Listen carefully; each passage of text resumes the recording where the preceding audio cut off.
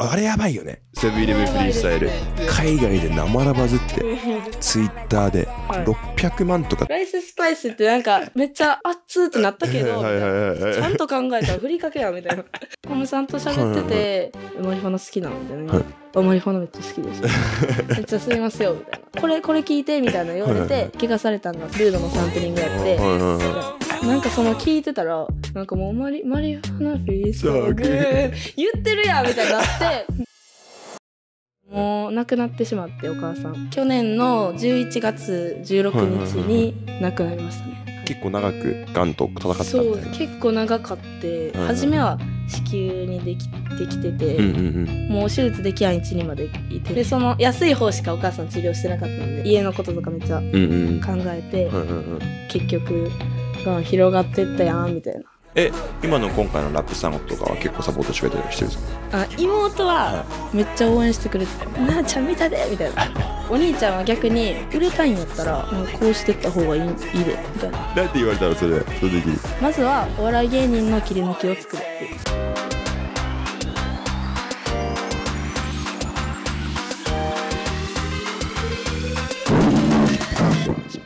はい、ということで、今回のゴールデンラッシュポッドキャストのゲストは、ラップスター2023年出演中の奈々ちゃんです。よろしくお願いします。お願いしますイエーイ。あ、それなんだ、サイン。あこれさ7だ。7 7こういうこと？なってるなと思ってはいはい、確かに確かに。おー。す結構これやります結構やるね。はいはい結構やってたよね。なんかサイフォーでもやってました。あはいやりましたやりましたそうですよね。いいな。ハンドサイン、いいねなんか、うんめっちゃいいと思ハンドサインいるなと思ってう。確かに。ラッパーだもんね。おああみたいな初めこれやってたんですけど。これ？はいはいはい。あでもこれ折ったらもうなんなんなりできるみたいなって。かに確かに。でそれでもうこれになりました、なるほどね。はい、すげえ。え、それはもうラップスター出るタイミングなの？それとももっと前からもうハンドサインいや作ってたんですか？前からはいはいはい。あったんですけど、うんうんうん。なんか使うタイミングがなくて。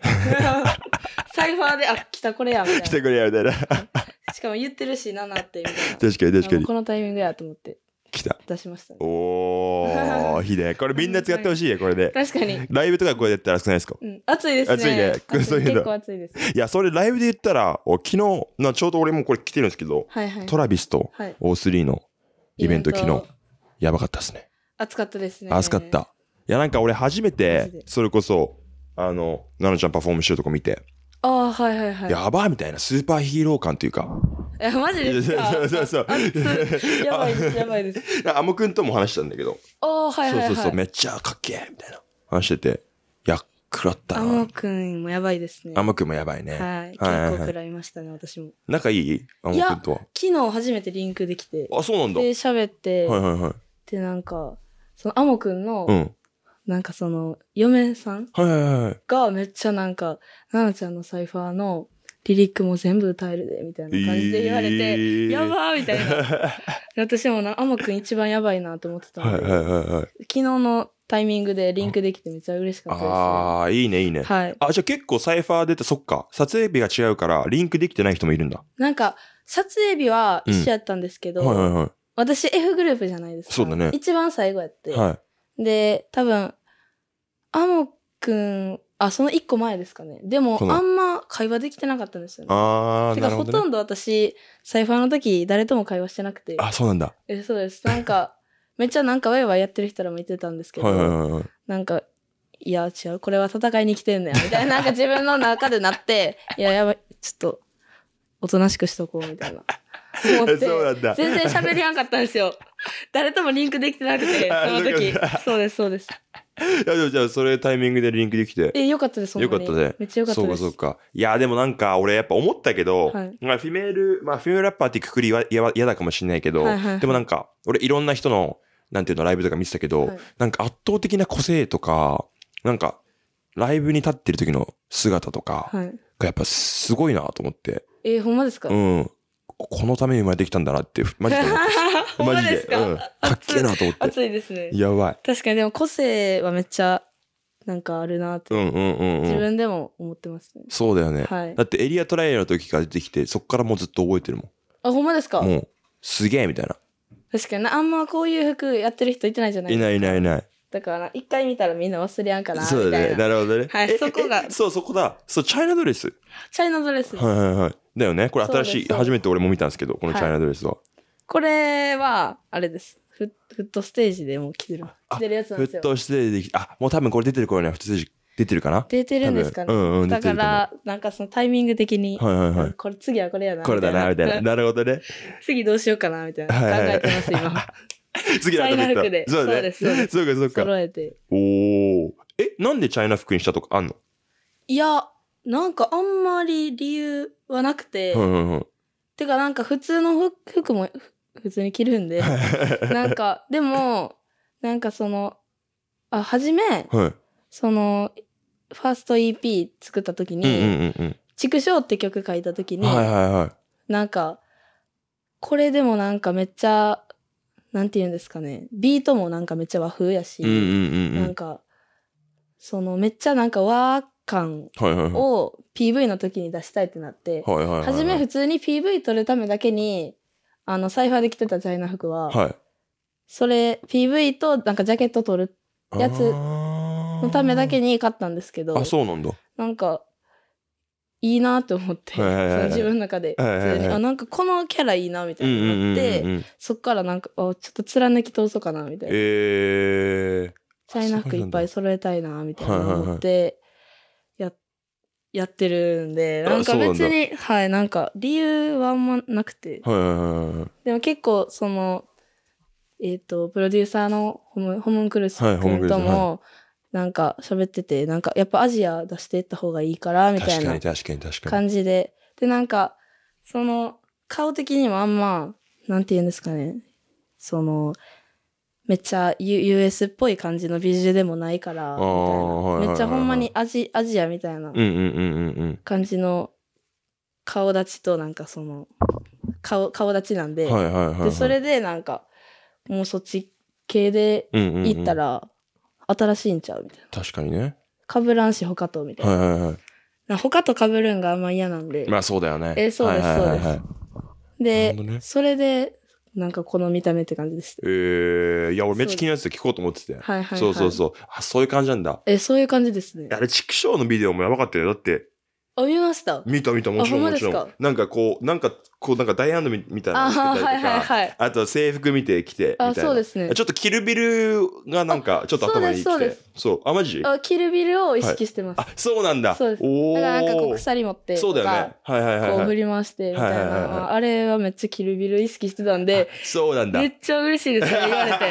初めてそれ言われたんで。えマジで？はい。俺、キルビルめっちゃ好きだから。あ、もうほんまですか？映画めっちゃ好きなんだけど、普通はいはいはいにキルビルがめっちゃ好きで、はい。すぐ、あ、これキルビルのあれかなってちょっと思ったけど。ああ、そうです。そうそうそうそうもう、せめちゃくちゃ正解です。なるほどね。はい。ああ、そうなんだ。嬉しい。ええ嬉しいですすごいね。なるほどね。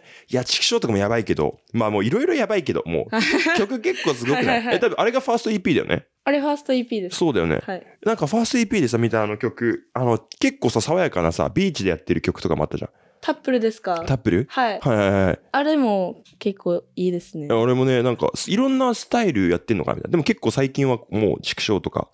ああ、なんかフリントとか、はいはいそのデトロイト系のはいはいはいはい。方を、なんか、なんて言うんですかね、そのイメージをつけたいっていうか、一旦。なんかその、別に、その、いっぱいいろいろいろやりたいんですよ。はいはいはい。だから、なんかあの EP になったっていうか、うんなんか結構全然ちゃうやつみたいなはいはいはい。そうだよね。結構ミックスだったもんね。えーそうです。確かに確かに。だからなんかこれから、そのいっぱいいろんなジャンルやりたいんですけど、うんうんうん。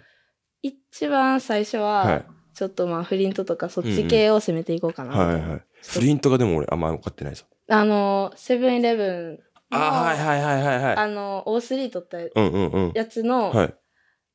漢字が、あの、フリンフリントフリントってえ言うんです。ー、私もあんま分かってないですけど、ちょっとマンブルっぽい？あ、そうです、そう。いう感じだ。はいはいはいはい。なるほどね。漢字のなんかめっちゃ暗いはいはいはい。系みたいな。なるほどなるほど。それのイメージっていうか、うんうんうんなんかもう、自分のなんかジャンルみたいなのを作りたくて。なるほどね。はい。もうそれ確立できたらもう最強になるじゃない確かに確かに確かに。それ今ちょっと考えてますね。えー。フリント系いっぱいやるかなフリント系いっぱいやるみたいはな。あ、そうなんだ。結構そういう方向性っても、それはなんかもともとそういう感じだったの？それともこの EP からみたいなところあるの？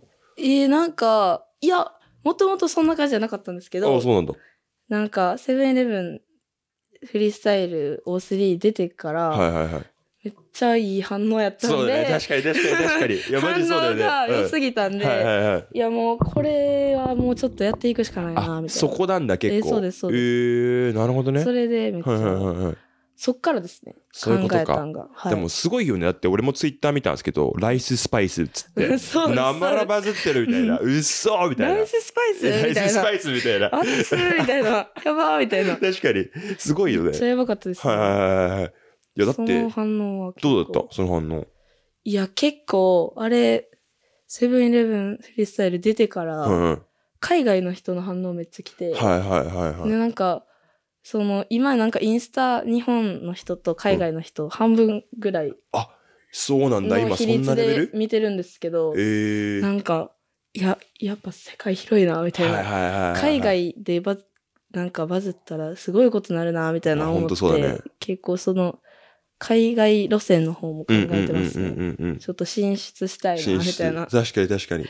まあそういう意味では確かにアジアを前に押し出しっていうのはやっぱ世界に向けて結構強い気もするよね。確かに確かに、うんうんうんうんそうですね確かにね。なるほどね。パッと見た時にうも、んうんうん。あアジアの子やみたいな感じでわかるわかる見た目してるからそうだね。確かに確かに。いいなってめっちゃ思います、はいはいはい。なるほどね。はいいいな。ちょっとサイファーの方に入っていきたいなとは思うんだけど、やっぱはいみんな多分サイファー見て、ぶちぐらってると思うし、しかもフットステージはい行ってみたいなはい感じだと思うんですけど、はいちょっと一個一個行こうかな、じゃあ。サッカー少女がラッパーつけたあだ名が7。はいサッカーやってたんですか？サッカーやってましたえー、いつからいつまで？小1かはら中3までやってて、い。なまらやってるじゃん。長っ。結構やってて、はいはいはいはい。で1回でもその中1の時に辞めたんですよあ、そうなんだ。辞めてで吹奏楽部で楽器吹いててえー。でもなんかめっちゃなんかその吹奏楽部全然馴染めやんかって、はいはいはい。んでちょっとやめようかなみたいな思ってる時に、はいはいなんかこう校舎のこう外をパーって見たら、うんサッサッカー部のコーラめっちゃ楽しそうにサッカーやってたから、はいはいはい。もう一回戻りたいなみたいになって、はいもう一回始めたけど、うん。もう中3で終わったみたいなああ、感そうなんだ。え、でもサッカーのチームに入ってたことクラブチームとか？あなんかクラブチームにも入ってましたね。はいはいはいはい。なんか初めはなんかその小学校のクラブチームみたいな感じのとこでやってたけどなんか次私出身海南なんですけど、かいな、はい。な海南のクラブチームみたいなとえー。ころに入って、はいはいはい。でそっからなんか女子サッカーとかもうんうんうん。なんかトレセンみたいな、ああ、はいはいはい。なんか選抜のみたいはいはいはいな、なんかそんなんとかも行ったりしてて小学校の時。はいはいはい。別にすごくないんですけど なんかまずそもそも女の子でやってる子が少ないから、そうだね、そうだね。全然もうなんかその普通に受かるみたいな トレセンそうやろそれトレセンなみたいな 普通に受かるえ受かるんでなんか全然その和歌山代表みたいな感じでやってましたけど。全然なんかもうギリギリでやってたんで女の子ら少ないからそういうことか。そうですそうですまあ、そうだよね。女子サッカー、なでしことかはあるけど、めっちゃ日本でさ女子サッカーが、なんか、盛んっていうイメージあんま確かにないかもしれない。そうですよね、うん。なんかでもその女子のなんかしサッカーのなんかその、試合みたいな。とかに行ったらやっぱうん多いなってなりますけど。あ、そうなんだ。結構多いなってなりますけどやっぱでもそれでもまだ少ないんじゃないですかね。ん。めっちゃ。え、でも男子と一緒にやってたってよりかは女子のチームに入ってたってことだよね？いやあのほとんどは男子のチームに。あ男子のチームに入ってたの？あそうです。入って、えー、やっててでたまにその女子のサッカー行くみたいなあ、そうなんだ。でそうですそうですなんかほんま、えーそもそもなんかその女子サッカーの大会自体がめっちゃ少なかったんで、あー、なるほどね。もうほんまにその時期になったらちょっと行くみたいなととかほんまそんなんやったんで基本男の子と一緒にやってたサッカー。はいすごくね、でも小学校、中学校、男の子とサッカーやってんのやばいね。いやそうなんですかね、うんわかんないけど、はいいや、やばそうだなって思うし。俺もサッカー部やってたんだけど。あそうなんですかそう、中学3年間。はいはいはいそうよ、サッカー部やってたけど。サッカーいやでも楽しかったです、ね、サッカーはサッカーでめっちゃそうなんだ。はい見たりはしないの？プレイしてただけ？あんまもう見てないですねああ、見てないんだ。はいワールドカップとかも見てない？えあなんかたまに見ますけど、はいはいはいなんか別になんかあんま何も思わんっていうかサッカーやりたいなと思いますけど、はいはいはいはい。なんかうわちょっとなんか動きなんか語ったりしてるじゃないですか、おっさんとかって。こいつの動きがどうとか。別にそんなんは何も、その全然気にし、気にしやんっていうか、なんか、おすごいな、みたいな感じで見てるだけですね。あ、そうなんだ。はいえー、なるほどね。ちょっと次行きたいんだけど、バイト掛け持ち。はい。ねまあちょっとこの後もそうだと思うけど、ママが寝たきり、森ひねじゃなくて。まあちょっとこれ別々だな。はい。バイト掛け持ち、バイト掛け持ちやってるんですか？バイト掛け持ちでやってたんですよ。やってたんだ今は、はい。なんか、その夜、バ。ーで働くだけなんですけうんど、うん。もともとは、その昼、ペンキやりながら、えー。夜、その、なんか飲み屋さんで働いたりとか、はいはいはいはい。結構いろいろバイトしてたんで、はいはいはい。基本なんかもう高校の時からうん。ずっと掛け持ちの状態やったんですよ。えー、すげえな。なんか、多分一個の仕事するんが嫌いで。あ、そういうこと？え、そうです、はいはいはいそうです。だから、ほんでなんか、高校生とかバイト多いから、はい。はい。まあ週そんな入れないじゃないですか。まあそうだね、確かに確かに。だからいろんなとこ行ってたみたいああ、そそういうことなんだな。。そうです、そうです。へえ。ちなみにさ、これ結構みんな知りたいと思うんだけど、ママが寝たきり、森ひねじゃなく医療大麻が欲しい。ああ、そうですね。お母さん寝たきり状態やったんですよ。うんうんうんうん。この離陸書いた時に、もう、その、めっちゃ、ずっともう寝たきり状態で、はいはいはい。で、まあ、おばあちゃんとか、うん。その、まあ、兄弟が、うん。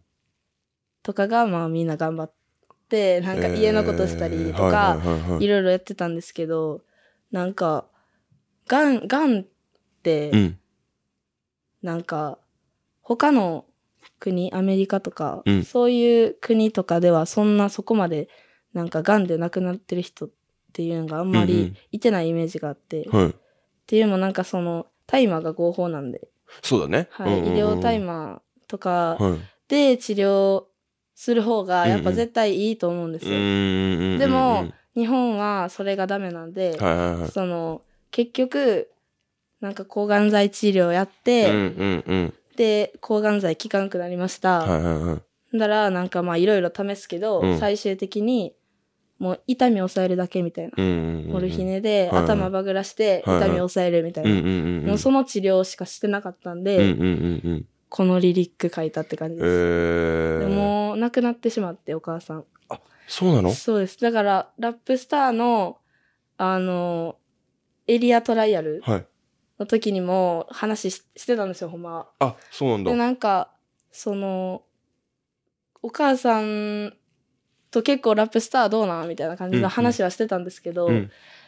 その連絡来る前に亡くなってもて、で、そのお通夜うん。の日にちょうどラップスターから連絡来たみたいな感じなんですよ。はいはいはい。だからなんか、うわみたいな感じですよ。亡くなってもて、はいはい。まあ、このリリックやったら、あ、寝たきり状態なんや、みたいな思いますけど、うんうんうんうんもう、今はもういてないですね。マジで？え、そうえ、です。でもってことはめっちゃ最近ってことだよね？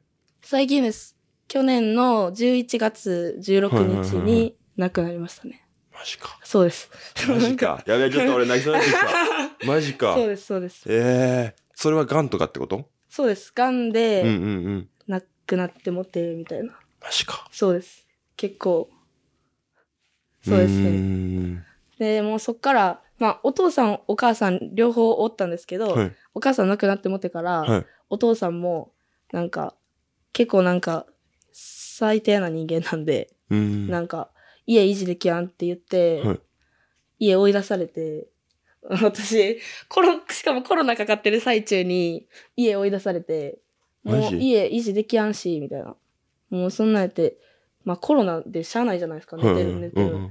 でももうなんかめっちゃキレられて、もう出ていけみたいな言われて、出て行ったんですけど、その後にお父さんも、その家自体維持できやんってなって、お父さんももう出てったらしいんで、マジ？今どこに住んでるかわからないですけど、はいはいはいもう、親、どっちもいてないみたいな、マジ？はい、状態です。今、どこに私ですか、うん。じゃあ私、家なくなってから、はい。あの、岡山にブラックボックスっていう、はいはいなんかバーとかスタジオはい。はい。が一緒になってるとこあるんですけど、うんうんうんそこに、とりあえず走、走ってもう逃げてきたら、なんかもう、そこのオーナーの人が、うん。もうとりあえず家見つかるまでここ寝ときな、みたいな。うん。めっちゃ控え室みたいなとこですけど、うん。そこでずっと寝泊まりしてて、うん。最近やっと、なんか、あの、アパート借りれて、うんうんうん。もう普通になんかアパートであ暮らしてるみたいな感じです。うわーそれはちょっとすごいな、バックボーンでね、結構そうだよね。え、これ多分フットステージ話してるでしょ？でも。話してます、そうだよね。そっか、じゃあ多分見てる人は知ってるから。俺初めて聞いたから生々びっくりした。ます。そうですよね。そうだよね。マジみたいな。あ、そうなんだ。だからフットステージ結構いろんなとこ行きましたね。そうだよね。忙しいみたいな。確かに。はい。マジか。やば。え、ちなみに、あの、お母さん、はいまあ、その、あんまり、あの話がなかったらいいんだけど、はいはいはい。結構長く治療ってか、その、癌と戦ってたそうみたいな。結構長かって、うんうん。2, 2年3年ぐらいですかね、はいはいはい。は多分戦ってたと思いますねもうなんかだんだん進行してって初めは子宮にできできてて、うんうんでそっから、まあ、手術それで取り除いたんですけど、うん。はいはいもうその取り除いた時には他のとこにも転移しててみたいなで次肝臓行ってはい肝臓もう半分ぐらい切ってはい。めっちゃそのがん取り除いたと思ったら、うんうんもう手術できやん位置にまでいてしててみたいなそういうこと？そうですそうですだから手術できやんくなるまでが早かったんですよなるほど。てかなんか医者が、うんあもうこんなことあんま言いたくないですけどその医者がなんかまあ忙しいんか知らんけど、うん。なんか手術します、うん。ほんだらなんかはいじゃあ次また検査しますねみたいなうんうん。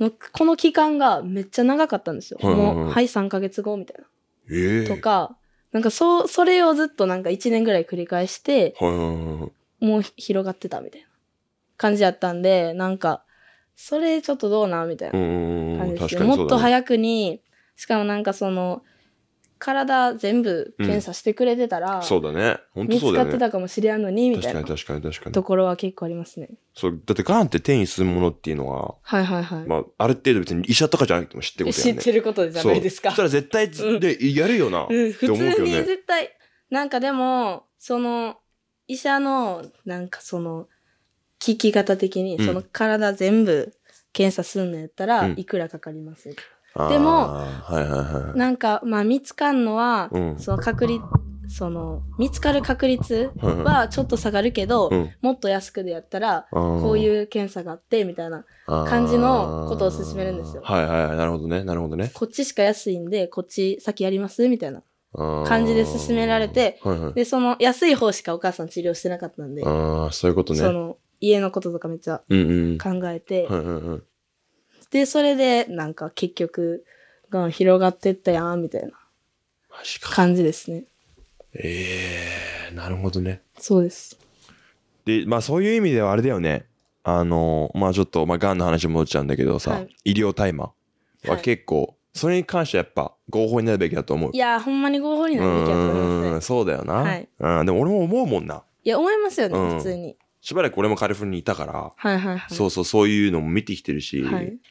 まあ、オランダとかも俺この間行ってきたんだけど、オランダとかもそうだし、やっぱカナダとかもそうだし、はいはいはい。やっぱ医療効果はめっちゃあるんじゃないっていう。いや、ありますね。うん。結構、それなんでなんみたいな確かに確かに。俺もめっちゃそれ思う。ねだってモルヒネみたいな。はい。そっちは OK だみたいな。うん、そっちの方が、そうそうそうそう。ダメですよね、うんほんまに。マジで俺は。はそう思うから。ほんまに思います。うん。そりゃそうだよな。はいなるほどね。でもそういう意味は、なんか、あの、あの、これちょっと話していいかちょっとわかんないんだけど、はい。マリファナ feels so good. はいはいはいはいはいはい。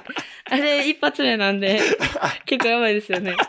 じゃあなんか、マリファナ好きな子みたいな。はいはいはいめっちゃ多分、なんかそれ、めっちゃ思われてる。はいはいはい。まあ 間違いないんですけど。間違いはないんですけど。そうです、そうです。そうだよね。そうです。あの曲はなんで作ろうと思ったら、なかなか結構ビッグムーブっていうか、ボールドムーブじゃな？い確かに。え、うんなんか、めっちゃ急に決まったんですよ。あじゃあなんか、ホムさん、ホムさんと喋ってて、はいはなんか、ホムさんって多分、その、ラッパーと会話して、はいはい最近どんなことやってんのとか。なんかど、ど何が好きなんとか、はいはいはいそういう話をして、引き出しをいっぱい作っていくみたいな。なるほど、なるほで、それで、まあ話するときに、ど。はい。え、普段は何してんの？みたいな。はいはいはい。んで、あ普通にまあ遊んでます。うんうん。マリファナ好きなの？みたいな言わあ、マリファナめっちゃ好きです。めっちゃ吸いますよ、みたいな。買いに行きます？みたいな感じやってのノリやったんですよ。で、い。それで、うん。で、なんかビートいっぱい送ってもらって、はいはいはい。で、初め違うのを撮る予定やったんですけはいど、はいはい。で、まあ違うの、ビ違うビートでバーって書いてて、うんうんその、全然違うことを、はいはいマリファナじゃ関係ないことを書いてて、うんうんほんで、レコーディングしに行こうと思ったら、はいはい。ムさんが、あ、いや、もうそれ撮らんな、みたいな言われて。もうそれはもう、いいな、みたいな。てか、これ、これ聞いて、みたいな言われて、怪我されたんが、その、ルードのサンプリングやって、みたいな。これ、これでマリファナ歌ってほしい、みたい あ、そう感じだったんだ。な。そう、そのさんにそれ言われて、えーはいマリファナ、それで歌、これで歌えるやんな、みたいな。はいはい。あ、確かに、みたいな。もう、なんかその聞いてたら、なんかもうマリ、マリファナフィー so So good good 言ってるやんみたいになって、それで、なんか、それでなんか作って、はいはいはいその日に作ってできて、みたいえな。おもーう。これ出そう、みたいな。はいはいはい。これファーストシングルや、みたいなで。でそう。そんな感じで結構進んでいきました。えー、え、ホムさんとは？俺もなんか結構その、まあ、知らなくて、はいはい、でも、はい。奈々ちゃんの EP とか、はい曲はいとかで、ホムさんのビート、ほぼ、ホムさんのビートやそうですね。そうで、知ったんだけど、はいビートやべえな、みたいな。普通に思って。ですね。はい。どういうタイミングでやったのかなっていう思ってたんだけど。出会いは、はえーっと、なんか、私、なんか、はじめ、なんかそのラッパーなりたいって思った時に、全然周りに環境がなかった。っい。はいはいはい。ていうか、その、周りにラッパーの子もあんまいてないし、みたいな。うんうんうんうん。なんか、一番近くて、豆腐っていうラッパはいはいー、はいはい。はいはい。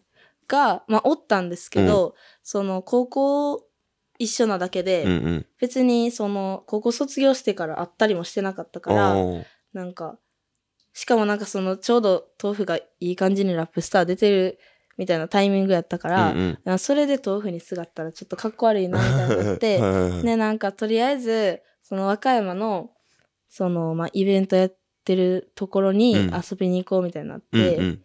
で、こう遊びに行ってる時に、なんか、リッチブラックうんですかねの、なんか JAL 君って子が和歌山におるんですけど、はいその人と初めて会って、うんで、なんか、普通になんかその人らに、なんかめっちゃその人らって、そうイベントでフリースタイルとかめっちゃえするんー、ですよ。イベントで？フリースタイルで、え、そうです。え、すげえな、それ。なんか、フリースタイルでなんかもう、結構、もう3時とか4時とかはいはいはい。に、シャーみたいな、マイク貸せみたいな感じのノリの人なんですよ。で、こうやばーみたいな時に、はい。ちょ、みたいな。歌え、歌えよみたいな言われて、おで、渡ー。されて、マイク、うわ、どうしようみたいな。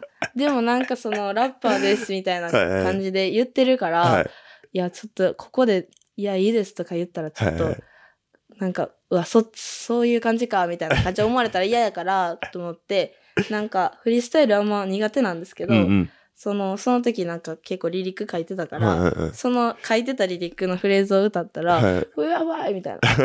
うやばいやみたいになって、で、その、ジャル君が、多分、ホムさんとちょっと知り合いで、はいはいはいで、なんか、また違うイベントではい会った時に多分めっちゃ話してくれて、みたいな。ああ、そうなんだ。えそうですはいはいはい。だから初めホムさんも全然、なんか、興味なかったらしいんですけど、うん。その、女の子で、え、わ和歌山？みたいはいはいはい。な。同じやん？みたいな。うんうんうん。で、和歌山のラ女の子でラップやってる子がおらんかったんで、ああ、なるほどね。そうです、はいはいおらんかはったんで、なんか、それちょっと一回会ってみたいな、みたいい。な。うんうん。で、ホムさんから、それ、それで連絡来たあみたいな。そうなんだ。向こうから連絡来たんだ、しかも。え、そうです。いいやつで、ビート送りますね、みたいな言われて、ああっつーみたいになって。やばいえ、ね。そうです。で、そっから始まりですね。えー普通に会って、で、レックして、みたいな。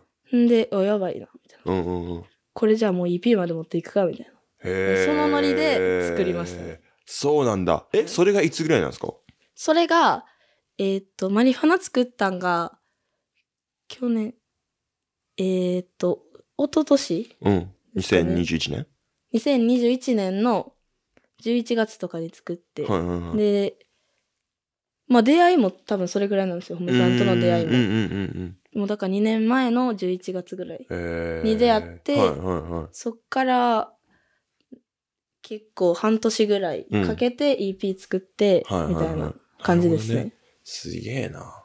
そうかそうか。結構、早かったですね。早いね。はいはいはいはい。え、でもラップはその時はもう、レックとかテクにしなかったけど、えーそうです。なんかレコーディングの仕方も、うん。なんかほんまに友達ん家とかで、はいなんか、はレックするけど、みたいな、うん全然その機材とかも、なんかそんないいやつじゃないみたういな。だからもう全然声もあんまよ、いい、はいはい良くないし、みたいな感じのレコーディングはしてたんですけど、うんうんガチガチの、ほんまにちゃんと配信する、みたいな。うん。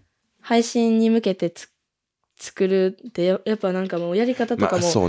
変わってくるんですよ。はいはいはいはいでそれを分かったんが、うん。はいいや、ホムさんと出会ってからなんで、はいはいはい。そ、そっから、なんで、でもまあ、やってたんは、うん。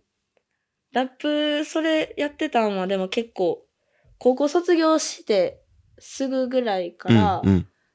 ちょっと書き始めてたんですよ、自分で。ああ、離陸とかはね。えーそうです。うんうん。だから、なんか、その、そっから、書き始めてから、その、なんですかね、ホムさんに会うまでの期間は、多分、ちょっと長、長いかもしれないですけど、うんうんうん。なんか全然その、ちゃんとした活動をしてなかったんで、はいはいはいはい。なるほどね。はい。本格的にマジで始めたんは、ほんま、その2年前の11月ぐらいからうーん、なるほどね。ですね。ホームさんのおかげでみたいな。えーそうです、そうです。なるほどね。はいえ、去年とかは応募してないの？ラップスターとかを。あ、してないです、してなあ、いです。してないんだ。じゃあ今回初めて？初めてです。すげえな。初めてで、初めてです。キャンプ、あ、はいキャンプ出てんのかな、コロコロ。わかんないけや、ど。どうなんですかね。怪しいよな。怪しいです。まあまあまあまあ、まあまあ一応、言っとくみたいな。はいはいはい八トップ8位まではもう入ってると。入ってます。やばいね。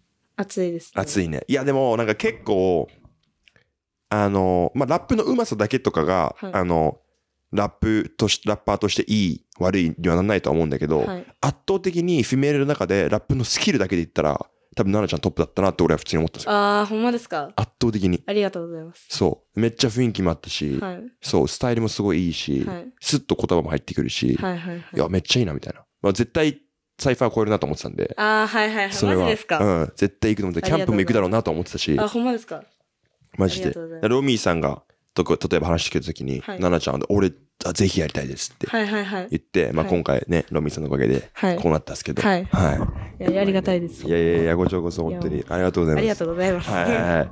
やばいな。いいね。すごいいろんな、もうここ、ここ、どんどんどんどん行こうかな。じゃあ次は、えっ、と、えっ、と、さ、かわい、かわいい子だけが対象、懲りない意味ないヘイト。はいはい。これ何について歌ってんのかなと思って。いや、なんか、なんて言うんですかね。別に、それに関してはそこまで意味こもってないんですけど、はいはい。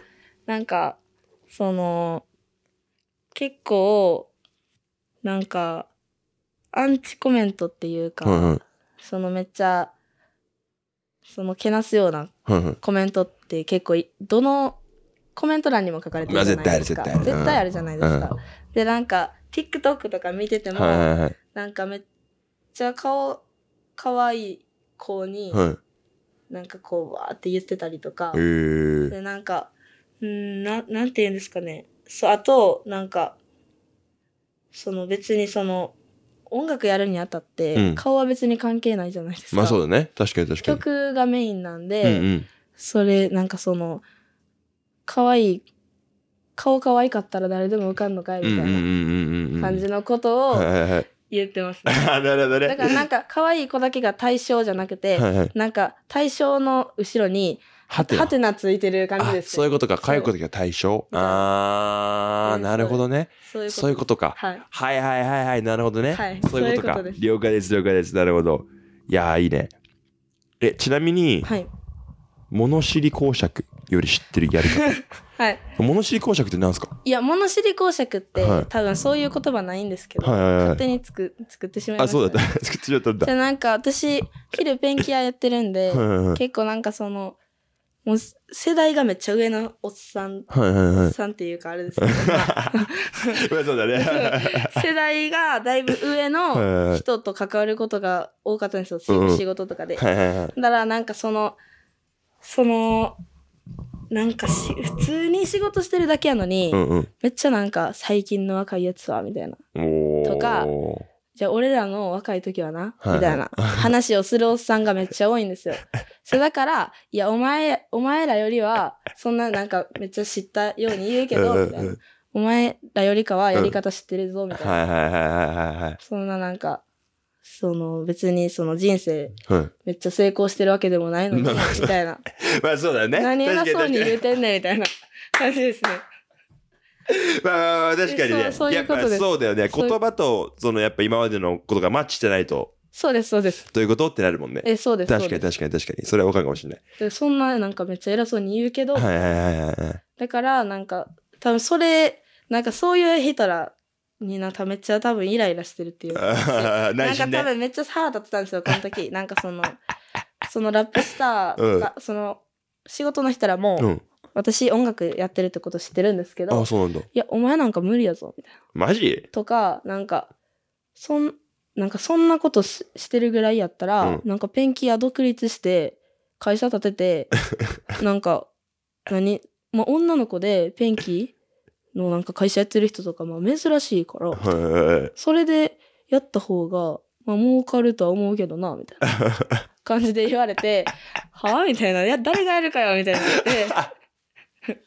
なんかそういうことをめっちゃ言われるから。なん、か、いや、なんかそんななんか知ったように言うけど、っうんうんうんうんて感じで書いたリリなるほどねックですね。うん。でもやっぱさ、はいまあそのラップとかもそうだし、はいまあ結構おもろいなって俺はもう聞いてて思ったのが、はいまあそれこそ昔からサッカあーでーはい、男たちに混ざってサッカーやったりとか、はいペンキ屋で男の人に混ざってペンキやったりとか、ラッパーってやっぱ未だにまだ男が多い。はいじゃないですかはいはいはい。で、女の子みたいな、はい結構その周りに男の人が多分いる状況で競争相手が男の人みたいなはい。状態で今まで来てるから、はいなんかそれに対して思うことはあんのかなとは思ったんですけど。いや、別にないですね。逆に有利やと思ってて、はいはいはいはいはい。その男の人が多い世界で、うんうんうん。女の人が、まあ、ポツンっておるんがうんうん逆に有利やと思ってて、うん逆に、なんかわからないですけど男の人しかむずそうやなってめっちゃ思うんですよ。ああ、そうなんだ。へえ。なんか男の人でラップやってる人って結構おるじゃないですか。いるいるいる。結構なんかそのめっちゃブランディング次第でこう売れるか売れないかみたいな変わってくるしそれ考えたら、うんうん。なんか逆になんか有利やと思ってうるんで。ーんはいなるほどね。そうです。そっち派だ。はい。まあ、はいはいはいはいサッカーはう、ん。さすがに体格差。出てきたら。かなり不利ですけど、はいはいはいはい。なんか、ラップに関しては、うん。なんか、なんかそう、有有利やと思ってますね。勝手に。えー、勝手になるほどね。はい。いいねいいね。でもそういうマインドなんだね。あ、そういうマインド。なるほどなるほど。はい。そうか。でもが、そこらはもうガンガン出していこうみたいな。あそうですそうですなるほどね。はい。そうかそうか。えー、面白いな。なるほどなるほど。いや、バルニーちゃんとかも、はい。あの、やったんだけど、インタビュー。あ、はい、見ました、そうそう。ああ、ありがとうございますそうそうそう。で、なんか、まあでも最近はすごい女の子たちが増えてきて、はい。バルニーちゃんもうるせえ、うれしい、うれしい、うるせえちゃった。うるさい、あうるさいじゃなくて嬉しいみたいなこと言ってて、はいはいはいで、ね、今回のラップスターとかもさ、人数すごい多かったじゃん、フィメール。そうですね。今までに比べても全然多かったと思うんだよね。エリアトライアルから見てもさ、そうそうそう。だからそれで嬉しいって言ってたし、はいはいはい。そう俺も見てていいなと思ってたんで、はい。それに関してどう思うのかなみたいなのはちょっと個人はい的に思ってたはいはいはいはい。ちょっと聞かせてもらったみたいなるほど、ななるほど。はい。そうかそうか。はいなるほどね。え、ちなみにラップスターのサイファーの中で自分が気に入ってる歌詞とかあったりするんですか？リリックかラインかとか。あー、気に入ってる箇所ですかね。あー、ででも、一番気に入ってるんは、ササッカー少女がラッパーつけたあだ名がなの。はいはいはいはいはい。全部、あーで母音踏んでるから。あー、そっか。サッカー少女がラッパーつけたあだ名。ななだからなるほどね。ははいはいはいは。い。確かに確かに確かになるほどね。え、それ書いた時に、あ、おもろーと思って。はいはいはいはい。スッと入ってくるなと思ったらそこか。はい、そこなるほどね。が一番気に入ってますかね。はいはいはいはい。あと別になんか、気に入ってないって言ったらあれですけど、はい。別になんかももっといけるなとえ。ー、思ってるんだ。はい。まだ、すげえな。ちょっとあれやな、みたいえー、マジ？な。はい、感じですね。ほいほいほいほい。え、ちなみにナナっていう、あの、名前の由来とかは何何だったりするんですか？え、もう思いっきり本名から出てきてます。本名ナナなんだ。はい。えいや、ー、本名は七瀬なんですよ。あ、ナナ、背なんだ。そうです。なるほどね。七、七に、漢字の七に星って書いて七瀬なんですけど、おーはいはいはいはい。それ言った時に、あ、じゃあもう七でいいや、みたいな。で、で、ホムさんに言われました。はいはいはい。もともと違う名前でやってたんですよ。あ、そうなんですかそうです。どういう名前やってたんですか？それは、ボイルって名前でやってて。ああ、そうだよね。あ、だからセブボイル。あ、そうなんですよ。イナナボイル。ンスタの。インスタのあれそうだよね。そうです、そうです。はいはい、あ、そうなんだ。ボイルって名前でやってて、はいはいはい。なんか、それは別に由来っていうか、うん。なんか仲いい男の子がおったんですけど、はいはいなんか、結構今も一緒にいてるんですけど、今 DJ やってるポルノっていうはいはい。結構卑猥なはい。男の子がおるんですけど、いなとか友達に。でなんかその子が、なんか、結構私、ラップやり始める前からうん。仲良かったんですけど、うんララッパーなりたいみたいな話したら、お、めっちゃいいやみたいになって、はいはいんで、その時、なんか一緒にカラオケ行ったんですよ。はい。全然、なんか、知らん人らもいっぱいおって、みたいな。結構人数お おる中に、なんか途中で行って、で、なんか歌ってって言われた時に、なんか洋楽かなんか歌ったんですよ。なんか英語の。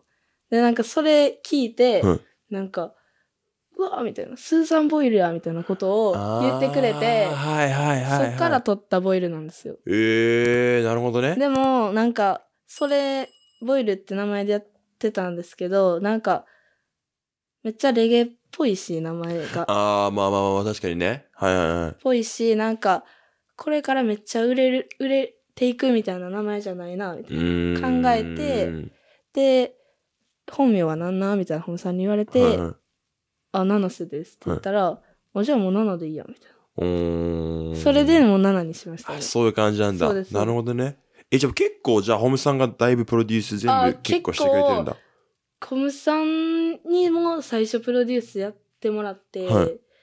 みたいな感じですね。あの EP はもう完全にそうですね。そうなんだ。そうです。ええで、それでやっと自分で分かってきたっていうか、はいはいはいはい。レコーディングの仕方とか、あ、こうやってったらいいんや、みたいなはい。分かってきたから、今は、あの、いろんなビートメーカーの人からビートもらって自分でやってますけど。なるほどね。でそうです、そうです。はいはいはい。結構教え、教えてくれました。いろいろ。ああいろいろ最初はい。始めるにあたってみたいなあ、そうです、そうです。なるほどねえさっきなんか歌ったって話だけど結構昔から歌歌ったりとかするの好きだったんですか？やっぱ好きでしたね。好きだったんだピアノもやってたんですあよ。ピアノもやってたんだピアノへーは3歳からはいはいはい小6ぐらいまで、それも多分8結年構長いねぐらいやってて、はいはいはいで、音楽がとりあえず好きやったんで、うんうんうんん で、まあ、楽器も好きやし、はい。歌うことも好きやったんで、はいはいはい。なんかもうそう、そっち側に行ってもた。うーんなるほどね。ね。えーえちなみにラップをなんかやりたいってなる前に多分聞き始めたりとかしたと思うんだけど、はい。昔からラップは聞いてたの？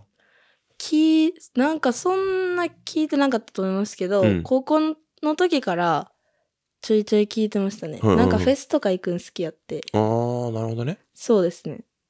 で別にそんな詳しくないけど、はいはいはい。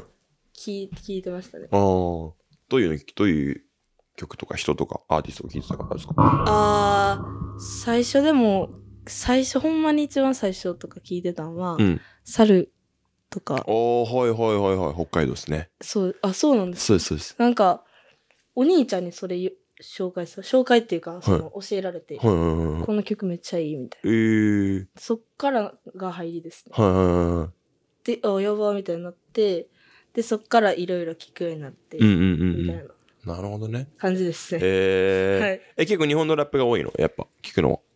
いや、最初は日本のラップ多かったですけど、今逆にあんま聞かんっていうか。あ聞かないんだ。はいはいはいそうはいですね。結構、うーん、USUK とかはいはいはいはい。が多いですかね、え聞いてるー、のは。はいはいはい。なんか最近聞いてるアーティストとかいたりしますか？あー、でも、めっちゃよく聞くんは、ピンクパンサーズとか、ああ、はいはいはいあの、はいはい。もう声やばーみたいな。確かに確かに確かに。声やばい人、とりあえずもう探して、探してます、ね。そこなんだ、やっぱ声やばい人なんだ。でもそれで言うと確かにそうだよね。奈々ちゃんなんかすごいなんか特徴というか、声なのかなみたいなのは。はいはいはい。確かに俺めっちゃ。思ってて。声、結構、なんかと特徴あるうん声うんうんうん。で、うなんか歌うようにしてそうだよねますね。それやっぱ、あえてっていうところはあんの？あえ、あえて、っていうところありますねはいはいはいはいはい。なんか、別にあんま思ってないですけど、なんか多分変な声出すのとか好きなんですよあ。そうなんだ。はい。まあ確かに、まあそうだよね。えまあセブンイレブンとかもそうだけど、えそうだビルサイドとかもめっちゃ変な声だもんね。変な声じゃないですか。うん、変な声。なんかあれも、なんか、めっちゃクレヨンしんちゃんのひまわりみたいなコメント欄に書かれてましたけど、確かに私クレヨンしんちゃんのモノマネとかするの好きなんですえ、よ。そうなんだ。そう。うわ、みたいな。バレてるやん、みたいな。そうなんだ。そうそうなりましたねえー、なるほどね。はいそうかそうかそ。れそうですえ、でもそれやばい。あれやばいよね。とりあえず。セブンイレブンフリースタイル。あれやばいですね O3 パフォーマンス。はい。あれやばいね。あれやばかったですね。海外で生らバズって、うんツイッターではい600万とか多分見られてたツイート自体。熱かったですよね。ちょすごいよね。っとビビりました。ね。はい。やばいよな。TikTok もすごいしね。TikTok やばかったです。ね。え、でも、ライススパイスって曲作ったじゃん。作りましたね。はいライススパイス。あれ、ライススパイス曲作って、はいあれすげえなと思って。すぐ作ったあれは。すぐ作りましたね。えいやライススパイスやばみたいな。ライススパイスって曲作ろうみたいな。もうそれはもう結構スピスピードでー、スピードでやったんだ。やりましたね。ライススパイスってふりかけやみたいな。えそう、ふりかけやんみたいな。ライススパイスってなんか、なんかめっちゃ熱、熱ってなったけど、ちゃんと考えたらふりかけやんみたいな。米のスパイス。確かに確かに米のスパイスふりかけやって感じふりかけやんみたいになって。結局、ライススパイス、まあ、よ要はふりかけやんみたいな。いやふりかけやはい。もうそれをまんま曲にしましたね。いやめっちゃおもろかった。あライスあなるほどみたいな。そうそうそう。そう俺なふりかけ確かにみたいな、はいはいはい。めっちゃ腑に落ちて、はい。面白かったね。おもろいですおも。ろいおもろかったあれは。あれ。おもろいです。結構熱いです。熱いよね、はい。そうだね。アイススパイスとかは結構聞いてた。あ、聞いてました。あそうなんだ。聞いてましたし、めっちゃ、なんか、あの、アイススパイスの、うん。その、ジャケ写？とか、なんかめっちゃキャラクターの、こう、うん。ケツ出しててあーわかるわかるわかる。はいはいはいはい。あれとか、めっちゃいいな、みたいな。次の EP こんな感じなのにしたいな、みたいな、ジャケット、みたいな。なんかかん考えてたら、ライススパイスって言われてたら、やばーみたいな。でもめっちゃ好きなんで、はいはいはいはい。ライススパイス。普通にめっちゃかましてんな確かに。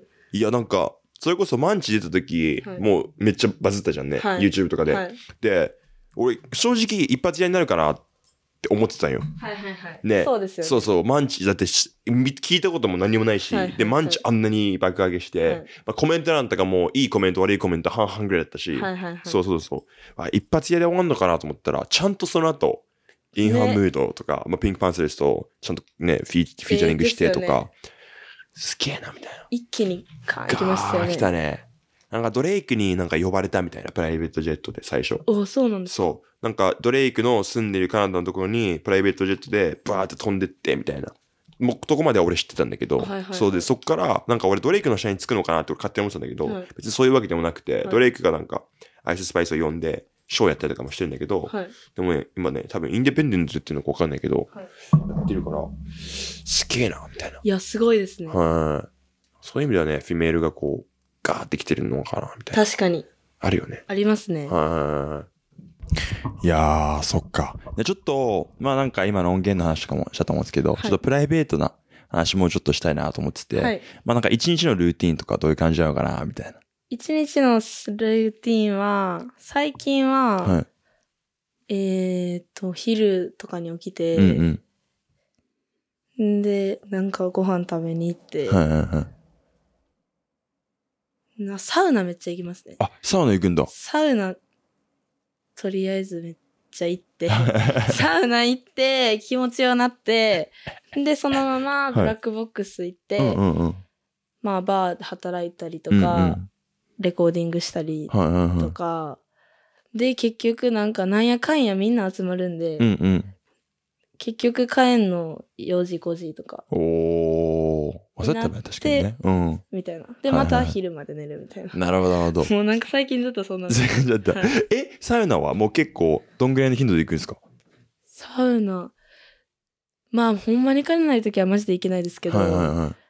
金余裕ある時は、毎日か、まあ、週3、4回は行ってるとえ思います、ね。ー、すげえな。めっちゃ行くっすね。めっちゃ行きます。いいっすね。え、なんかルーティンとかあるんですか？何回、どっ、なんかあるじゃないですか、大体みんあ、な。ありますね。そうそう、それを聞いてやっぱルーティンは、あーでも最近は、うん。えー、10分入って、うんうん。10分入って、水風呂、まあ、1分ぐらい。はいはいはい。で、外気浴。おー。外気浴、まあ5分ぐらい。はいはいはい外気浴。ではいはいはい。水めっちゃ飲んで、あー、なる1回ほどね。入るみたいな。おー。それ3回ぐらいやるんだ。繰り返します。へー。ほんだらもうめっちゃ気持ち気。持ちよくなって。あれはマジで合法的な飛び方です。確かに確かに。わかわか。わかりますうわーなるですよね。そうそう、ぐそうそうそう。ぐるぐる回るじゃないですか。そうそうそうそう。でもその後に吸うんがめっちゃ好きなんですよ。あ、そういうこと？さらにそこからするんだ。そう、あ、もうなんか、サウナ行く前にも、は一一番ベストなはい。入り方は、入り方。サウナ行く前に、その吸って、はいみんなで回して吸って、はい気持ちよなって、サウナ行って、はいそこでもまた気持ちよなって、はいはいはい。で、出てきて、吸うみたいな。で、飯食うみたいはいはいはいはいな。。とかもう最最最強高ですね。一番幸せかもしれないです、一応一応あそうなんだ。やばいね。やばいです。え、やっぱ、お和歌山でした？じゃないですか。和歌山です海南っていうとこなの？あー、海南、まあ、もともと住んでたのは海南ですけど、は家、実家は海南ですけど、はい今住んでるとこは市内ですね。市内なんだ。和歌山市。市。はい。あ、なるほどね。でもまあ、ま、ま、ま、市内の下が海南なんで、はいはいはい。めっちゃ近いんです。なるほどなるほどなるほど。なんかもうすぐ行けるみたいはいはいはいはい。な感いい。じですね。結構遊ぶところあるんですか？和歌山。サウナとか、他になんかあったり？サウナもめっちゃ限られてますし、まあ、あそうなんだ。はい。はい。あの、その行けるところがうんめっちゃ限られてますし、はい。別に遊ぶところはマジでないと思います。あ、ないんだ。ただ、夏は海やったり、はいはいはいはい。山とかあるから、うんうんうん。キャンプしたりとあか、っ自然と。ていう遊び方をしてる子が多いと思います。はいはいはいはいなるほどね。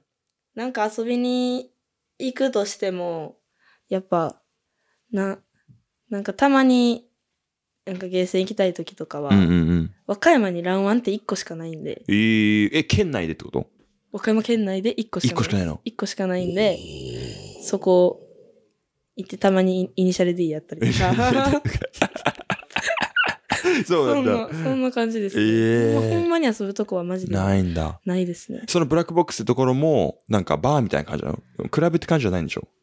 比べって感じではないんですけど、うんでもなんか月に1回イベントやったりしてるんあであ、、そういうことね。なんか、そう、最近、ほんまにバーみたいな感じでしたけど、うんうん。最近結構なんかステージみたいなの作って、えー、最近飲んだしかも。え、そうです。はいはいほんまに最近ステージみたいなの作って、はいはいなんか、で、そこに DJ ブース置いて、はいはいはい。で、スピーカーも、その、音流れるところと、うんこうマイクはいはいはい。で、こう拾う、こうスピーカうんうん、うん。ーと分けて、みたいな、なんかめっちゃ本格的になんか、なってきたんだ。なってきてますね、え最近は。ー、和歌山のヒップホップシーンってどうなんですか？岡山のヒップホップシーン、めっちゃ熱いと思いますけど、はいはいはいはい。でもまだなんか全然売れてない子とかでも、うんうんやばい子結構いてますし、はいはいはいはいはい。なんか、ああ、でもヒップホップシーンどうでしょうね。でも、めっちゃいいと思う。ラッパーも、はいトラックメーカーも、は結構熱いですね。い。えどっちもー、はいはいはいはい。ホムさんとか、はいのノバくんって人ノとか、はい。レオンくんって人とかうんうん。がトラックメーカーなんですけど、はいその人らも結構やばいですし、うん和歌山、なんか、私の年で結構上みたいな。感じなんですよ。結構若い子が多いっていうかあ、、そっか。え、今いくつですか？21 ?21 だ。で、で上の方なんだ。で上の方なんで、えー、ラッパーは。はいはいはいはい。でもなんかまあなんかそう、和歌山もうん。結構いろいろこう、壁あるっていうか。そのなんかめっちゃ古いヒップホップが好きなはいはい界隈はい。はいはいはい。と、めっちゃレゲエの界隈と、はいはいはいはい。ヒップホップのなんか、界隈と、うんみたいな、結構分かれてるんですよ。あ、そうなんだ。はだからなんか、それトータルしたら、私より上の人とか全然いてますけど、いはいはいは私の周りでやってるコーラは、い。うん。ほんまに若い子ばっかですね。あそうなんだ。はい。はいはいはい。高校生とか。すごいよな。で、この前とかも、私見やんかったんですけど、はい中 3? はい。とか。マジ？中 3? 中3来るってやばいですよね。やばいね。中 3? みたいな。で、歌ってんの？で、歌ってて、みやたいな。ば。子とか。すげえな。うんやばいです。な若みたいな。若いね。ちゃ、なんか夢あるなと思います。確かに確かにみんな。え、なんか俺はその和歌山っていうのあんま分かんなかったんだけど、はい。ん？チャウチャウくんとかも和歌山あ、そうです、そうです。そうよね。そうです。とかも、まあ O3 で見て、はい。すごいかっこいいなと思ったし、やばいですね、チはいャウチャウも。結構仲いいですか？仲いいですね。はいはいはい結構、ブラックボックスってよう来るんで、ああ、そうなんだ。ははいいはいは結構、まあそうですね。はい仲、みんみんな仲いいですい。うね。ーん、そうなんだ。で、なんか、でも女の子全然いてないから、まあそうだよな、なかなかね。全然増えないんで、まはいあでも、これから増えてくるやろなとは思いますけど、そうだね。まだ岡山に私しかいてないから、はいはいはい。なんかほんまに、未だに男の子の中にはい紛れて、一人でやってるみたいな感じですね。なるほどね。ほんまに。え、ちなみになんか俺、和歌山、その子も和歌山だと思うんだけど、めっちゃ、なんか TikTok 流れてきた。はいはい YJ、はい YJ と。YJ と。あれはでもヒップホップっていうかレゲテンなのか、レゲトンなのか？ヒップホップも、キくんはめっちゃヒップホップですけど、はいはいはい。なんかその、プロデュースしてんのが、はいレオン、えっ、と、レオンくんって子で、その子が、その人が、なんかめっちゃ、その YJ8 ははい、レゲトン。みたいな感じで言ってて、なるほどね。で、めっちゃ、多分レゲトンで、多分バズ、バズ来てほしいみたいな。な結構レゲトンばっか作ってますね。あ、そうなんだ。なるほどね。そっか。え、奈々ちゃんは他の、なんかヒップホップじゃない、例えば、ちょっと違うジャンルの音楽を聴いたりとかするの？あ、しますします。あ、そうだ。どういうジャンルの音楽聴くんですか？どういうジャンル？なんか、あ、ま、R&B とか、はいはいはいはい。レゲエも聞きますし、あ、そうなんだ。あと、なんか、アーティストなんですけど、うんジョルシャ・スミス。あー、私ずっと言ってるんですよ。はいなんか、ジョルシャ・スミスのなんかあの、なんて言うんですかね。ね寝るときになんかめっちゃ、き、き、聞いてめっちゃ気持ちいいみたいな。感じの曲とかも作りたくて、えー、なるほどね。はい。確かに。あれは、な、あ R&B なのかそうなんですな難しいよね。なんかあの、位置づけというか。はい。まあ、ポップに近いけど、でもなんかもうちょっとそのチルな感じえーう。そうです、そうです。はいはいはいなんかそういうのとかもめっちゃ、はいはい。なんか、やりたいなって思うんで、うんめっちゃ聞いてますね。なるほどね。はい。でも歌えるんだったらね、俺もなんか歌、めっちゃ歌ってるところ聞いたことないけど、はいはいはいで。も歌えるんだろうなと思って、普通に。あ、普通に、まあ、まあ、歌えるとは思います。そうなんだ。はいえすげえな。え、でも、すすごくはないです。ごくないの、はい。え、練習してたの？い昔から。、や練習っていうか、カラオケ、はいはい。なんかほんま中学校とか高校って、和歌山のコーラって何もすることないんで、とりあえずなんか、カラオケ行くみたいはいはいはい。な。が多分多い、多かったんですよ、私は。なるほどね。なんか、もともとめっちゃう歌下手くそやって、あ、そうなの？ピアノやってたけど、はいはいはい。なんかピアノの発表会とかで、なんか最後にこうみんな並んでうん。歌うみたいな。えー、とかがようあったんですけど、うんうんなんかそれの練習を家でやってたら、はい。もうあんた下手くそすぎて聞いてられやんわ、みたいな。めっちゃ言われて、え、そうなんだ。ほんまにそれぐらい下手くそやったんですけど、はいはい。なんかカラオケ行ってて、もうな、マシになっていきました、だんえだん。ー。えちょっと上手くなるもんなんだね、やっぱね。やっぱそうですね。ね多分なると思います。そうなんだ。はい俺も全然歌歌えないからさ。めっちゃ歌下手だなって自分で思いながら。それでだけカラオケ行って、はいなんか、なんか少しずつ上手くなってきたみたいな。俺めっちゃ音痴で、はいはいはい昔から。はいはいはい。妹とかめっちゃもん音痴って言われてて、お兄ちゃんめっちゃ音痴だね、みたいな。はい言われてて、俺も分かってたんだけど、はいなんか最近カラオケ、まあ最近って言っても3年前ぐらいだけど、はい行った時に、俺なんか歌ちょっと上手くなったね、みたいなはい。こと言われて、ああ、そうなのかはい。やっぱ多分上がっていきますな。よね。上がっていくんで多分ね、はい俺めっちゃ言ってるわけじゃないんだけど、はい。なんかね、シャワーで一人で歌っためっやつ。ちゃ、めっちゃ私多分行ってたんで。あ、カラオケに？はい。どんぐらい？なんか、結構もう、朝、朝学校、電車通学なんですけど。その、電車、まあ、何駅か先にうん高校あるんですけど、うんなんかその前で降りて、はい。とりあえず、一旦ちょっと学校行きたくないから、うんカラオケ行こうみたいな。ええとか、はいはいはい。で、とかもなんか夜、めっちゃみんな集まる、はい。集まってたんで、夜ずっとカラオケに、オールでおるみたいなとかはいなんかそう、そんなんが私めっちゃ多かったんですよ。なるほど。だか、ら、自然、自然となんか、あれなんか、う、歌えてるやんみたいな 感じになって、なりました、ね。そうだ。はい。え、高校は？そんなにあんまりじゃあ行ってなかった？いや、行ってたは行ってたんですけど、ちゃんと卒業しましたし、行ってたんですけど、なんか、うまいことサボってたみたいうーん、ちょうどいいな。感じに。ちゃんと、うん。賢い、賢いように 喋っ、あの、サボってたみたいな感じです。そうだった、はい学校あんま好きじゃなかったの？きやったんですけど、はいなんか周りの友達が、なんか、小屋ん時とか多かったんで、小屋んっていうか、はい。来るけど、ちょ、帰るわ、みたいな。とか、ああ、そうなんだ。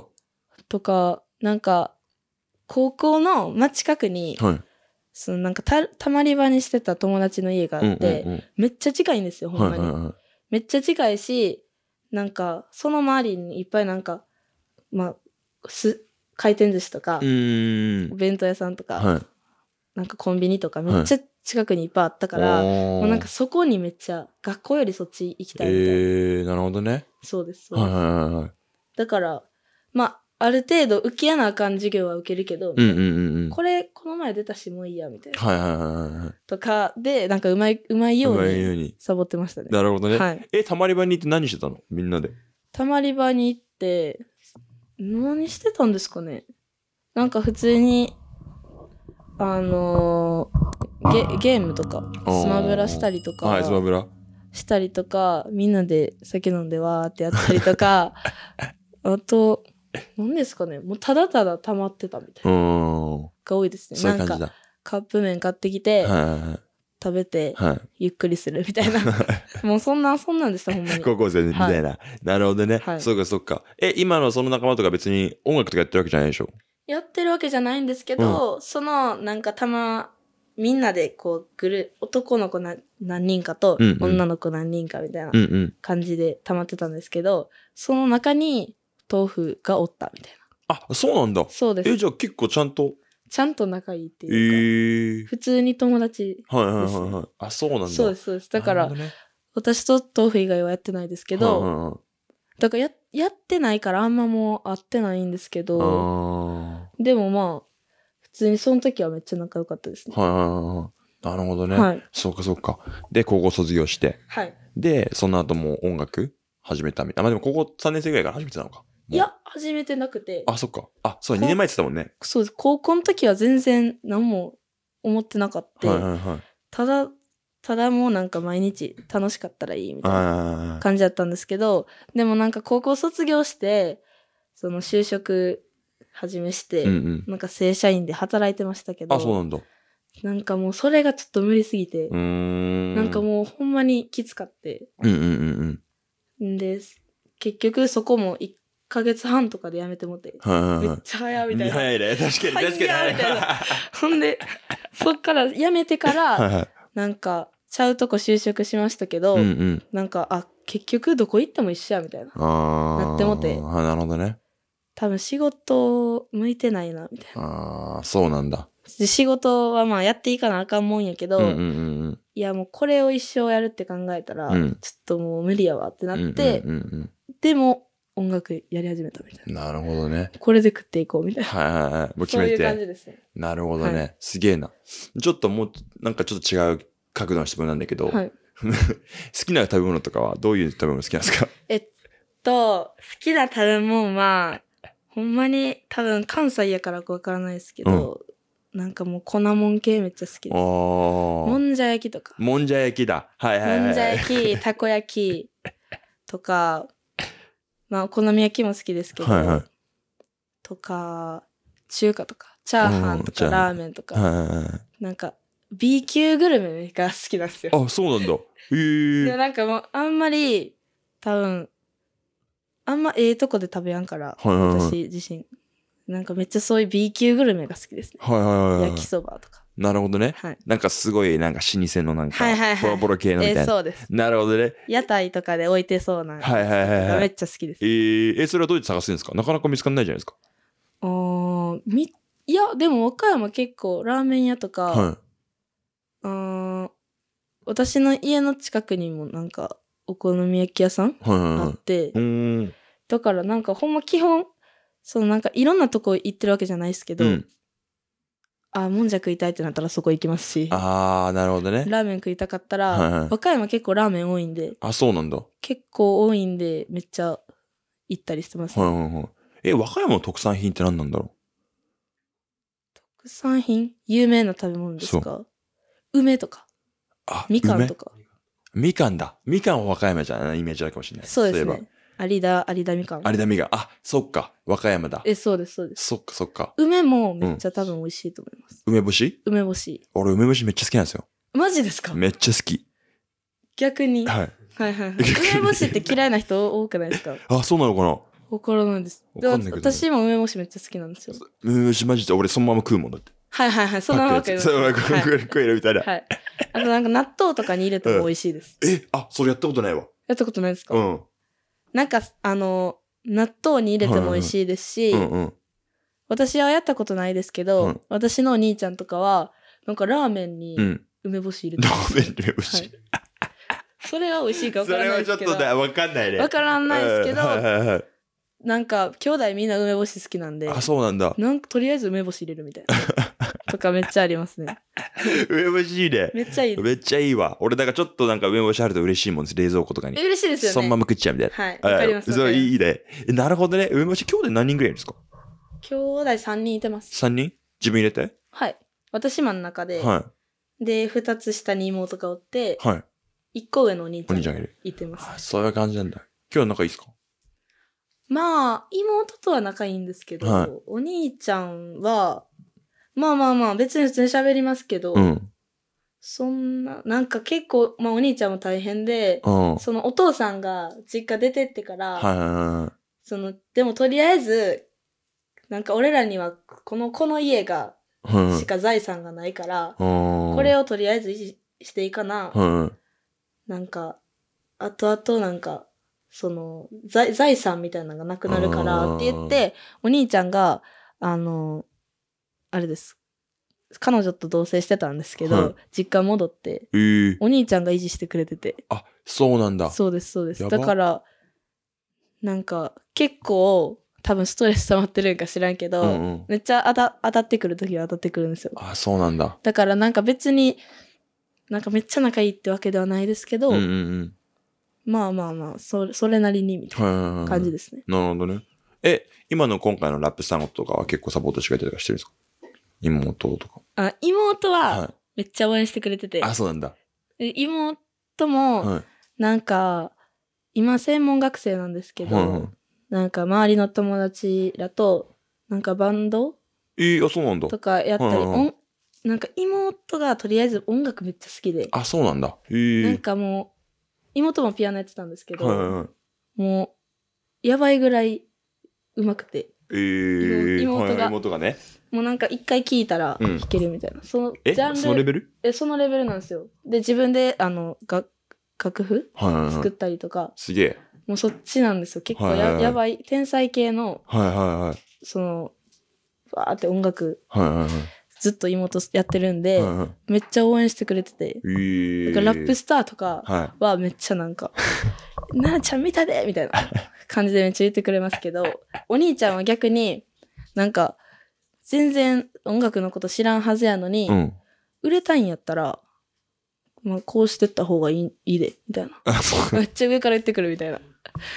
お前何知ってんねんみたいな感じの そうなんだ。人ですね、お兄ちゃんは。なんて言われたらそれは、その時に。ほんまに、ほはず、ほんまに恥ずかしいんですけど、なんか、そう売れたいんやったら、うん。先に、お前自分で YouTube のアカウント作ってるやろみたいな。はいはい。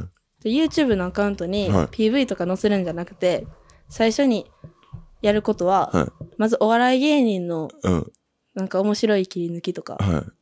まあなんかよう回ってくるやんみたいな、ショ,、ートとかの映像で。その面白いお笑い芸人の切り抜きとか、はあんなんをいっぱい、そのかき集めて。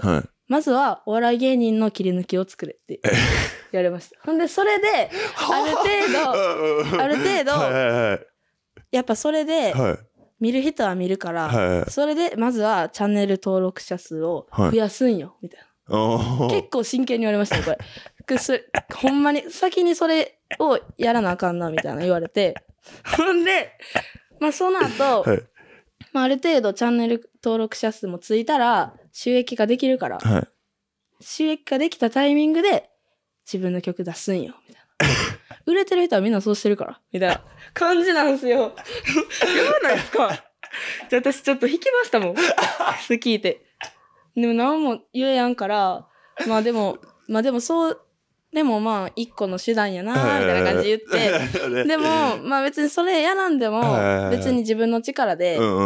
できるで、みたいな。感じで言ったら、はいいや、あの、できてないから言ってんのよ。別にその友達とかに聴かせる音楽じゃなくて、みたいな。じゃあお兄ちゃんほんまに多分私の活動とか見てないから、あーあれなんですよ見てないからなんかそう、めっちゃなんか、その、友達に聞かせんのもまあいいけど、はいはい。世に広めたいんやろ？みたいな。広めたいんやったら先にお笑い芸人の切れ抜き。まあこれやな、みたいな。そんなアドバイス初めて聞きましたよね。すごいな、すごい謎だね。めっちゃ謎です、ほんまに。どうしようとか思って。まあ、それするわ、とか言いましたけど、ありがとうとか言って。そっか。なんで、まあ確かに登録者数は増えると思うけど、でもそれ見てる人がね、音楽聴いてくれるわけではないから。間違いない。その人らはおあの、お笑い芸人みたい人じゃないですか全然ちゃうじゃないですか。やばーみたいな。そんなアドバイスあんのや、みたいな思い思いました。まあでも、でも真剣に考えてくれてるんだろうね。まあまあまあ多分これだったらいけるみたいな。えーそうですね。そっかそっか真剣に考えて、そう言ってくれたなるほど。おもろいな。おもろいですおもろいね。それはおもろいね。はい確かにね。めっちゃおもろい。そっかそっか。はいえ、だからそれで俺めっちゃ今思いつい思い出したんだけどはい、リンゴ？はいはいはいめっち。ゃ使ってるやん。リンゴ使ってますね。リンゴのインスタもついてるよね、多分ね。インはい、スタとかついてます、。ついてます。YouTube ついてたらちょっと覚えてないけど。はいはいはい。とか、PV でも持ってた気がする。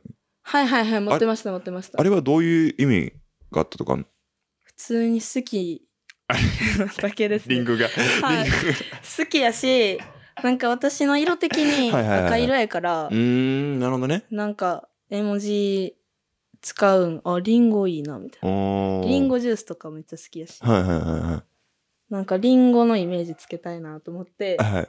なんかただ、リンゴの絵文字使ったり、はいリンゴ持ったりしてるだけです。あ、そうなんだ。はいえー本当にマジで好きなんだ。好きです、ほんまに好きえです。ー、果物の中で一番リンゴが好き。リン、あーでもまあ、果物全部好きですけど、はリンゴとか、梨とか、あそっち系好きあ。でもリンゴ系だね、それは。リンゴ系です。はいはいはい。でも梨は確かにうまい。うまいですよ。俺も梨めっちゃ好き。あの、みずみずしい感じ。はいはいはいはいはいあれ、ああいうのがやばいですね。なるほどね。はいああいうのがやばいんだ、ね。やばいですそう、確かに確かに。なるほどね。はいそうかそうか。え、ちなみになんだけど、はいこれから、まあ、この、こうね、ラップスターとかも今出演してると思うし、こう、ガーって言ってる。まあ、それこそね、海外でバズったりとかもして、すごいいい勢いがあると思うんだけど、これからなんかアーティストとしての活動とかで、目標とか、近々の目標、これ年内の目標だったりとか。あったりする？ー目標、リッチになることを目標にしてるんで、はいはいはいはいはい。で、まあ好きなことではいお。金稼げるん、うんうん。こ稼げるってもうそんないいことないじゃないですか。そうですね。確かに確かに。まあなんか目標っていうか EP とかアルバムは出したいなと思ってはいますけど、はいはいはい。そんななんかこのこれを目標にしてるとかはあんまなくてはいはいはい。ただリリッチになりたいリッチに。なるほどね。はいい、いねいいねいいね。はいゲゲ取りたいみたいな。はいはいはい。なるほどね。もう毎日もう顔顔にパックしながら、はい。タワマンとかで見下ろしながら リードするみたいなもうそんな生活したいですね そうなんだ。はいそれをめっちゃ 想像してますね私はずっと なるほどね。はいそうかそうか、はいい。いねいいね。そういう目標があるんだ。そういう目標があそりますっかそっか。え、ちなみにこのなんかアーティストとしてこういうふうな、なんか、だから海外でやりたいとか、なんかこういうステージ出したいとかあったりするの？あー海外行きたいですね。はいはいはいはいはい。それで言うと、うんうんうんうん。アジアジア制覇したいです。アジア制覇いいね。はい。いいね、いいね。アアジア制覇したい。アジア制覇、はいやレベル高いね。はい、レベル高いいいねです。アジア制覇して、はい。海外行って、うんうんうん。海外で暮らしながら、はいはいはい。向こうのアーティストとやるとか、おー。やばいですね。今、今思いついただけですけど。確かに確かに。はいそっか。でもそういう意味ではね、アジアのね、こういうイメージをね、作あってそうですねるのあるもんね。はい。そうかそうか。なるほどね。はいいいっすね、いいっすね。いいっすか？ちょっとアルバムとかね、はいあの、楽しみだし。はい。いや、でも、勢い出てくるんじゃないですか、もう。まあ、出てきてると思うけど、そうすでに。ですね。勢い、勢いすごいでしょ、今。勢いすごいですね。すごいですね。もう多分結構、でももうなんか、ずっとはじ始める時から。のこのペースが速いっていうか、おー、そうねずっ。とガンってなってるんで、そうなんだ。はい全然止まってなくて、はいはいはいはい。だからめっちゃこの調子で、うんうん。いけるな、みたいな、はいはいはいなってますね。いいね、いいね。そうだよね。だって、2年前とかにリリースして、そこからガーッみたいな感じだもんね。えー、そうなんですよね。確かに確かに。だから結構いい感じですね。はいはいはいはい。いいね。え、なんかこういうなんかメッセージを伝えたいとかあったりするの？将来的になのかわかんないけど。メッセージですか、うん、なんかアーティストでこういうことを歌いたいとか。あー、こういうこと。まあでも、こういうこと歌いたいっていうのはいっぱいありますけど、うんうん。なんか、自分のことはあんま言うんじゃなくて、うん。なんか、もう全員が思ってることみたいな。ああ、はいはいはいはいはい。全員が共感することうんうんをいっぱい歌っていきたいですね。うん。はいはいはいはい。なるほどね。はい。なんか、自分の過去のことをうん曲にするよりかは、うんまあその曲もい1個2個は作りたいなとは思ってますけど、うん。じゃなくてなんかみんなが絶対思ってることみたいうーん。な。なんか、それじゃないと、いや、わからないですけど、なんか、やっぱなんか、なんて言うんですかね。やっぱ聞いてる人って、うん。なんか、あれこれ、俺のために作られた曲？みたいな。っはいはいはいはい。てなったら、うんそれ思わせたら、うん。なんか価値じゃないですけど、確かに確かに。そういうことねう。わ、やば、みたいな。はいはいはい。これ、もう俺のために作られてるやん、みたいな感じで思ってもらえるような曲を、どんどん出していきたいなみたいななるほどね。そこなんだ。それはめっちゃ考えてますね。はいはいはいはいだから、リリックをめっちゃ考えてますね。ああ、なるほどね。はい。そういう方向なんだ。そういう方向そっかそっかですね。。なるほどね。はいい、いね、いいね。なるほど。はいわ、ちょっと楽しみですわ。はい。はい。ってことで、ちょっとね、これからもね、ガンガン活躍してくれると思うのでね、はいぜひぜひ皆さん、奈々ちゃんのインスタグラム、YouTube ね、それ、TikTok とかやってる？TikTok 一応やってますけど、はい全然出してないです、ねあ出してないんだはい。まあでももしかしたらタグ付けとかもあ、されそうですね。てるかもしれないんこれから出していこう。と思いますいいですね、いいですね。はいってことで、いろんな SNS のチャンネルで活躍が見えると思うので、ぜひぜひ皆さん応援していただいて、サポートしていただいて、フォローしていただけたらなと思います。ということで、また次回のエピソードでお会いしましょう。Peace!